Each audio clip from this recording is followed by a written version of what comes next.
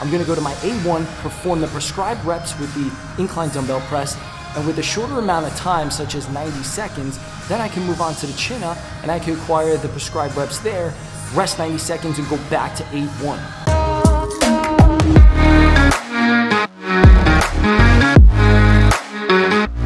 I see more people in the gym going set to set, day in and day out, wasting their time, taking an hour and a half for their training program, and they're still looking exactly the same they did last year's resolutions to this year's resolution. So, one very quick fix that you can incorporate today into your training is take your first two exercises and put them together.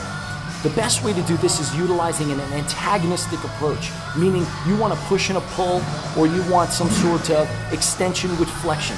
This will be able to maximize the amount of strength you have in each of those exercises while also doubling the amount of work in half the amount of time.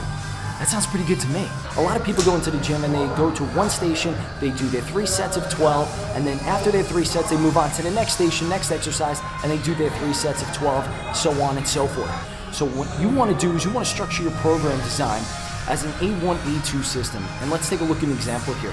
So my A1 is going to be the incline dumbbell press while my A2 is going to be the chin up. I'm going to go to my A1, perform the prescribed reps with the incline dumbbell press, and with a shorter amount of time, such as 90 seconds, then I can move on to the chin up and I can acquire the prescribed reps there, rest 90 seconds, and go back to A1. Take advantage of the time you have in the gym because we don't have much and be efficient with your training. This will acquire the goals and the gains you're looking for within the gym.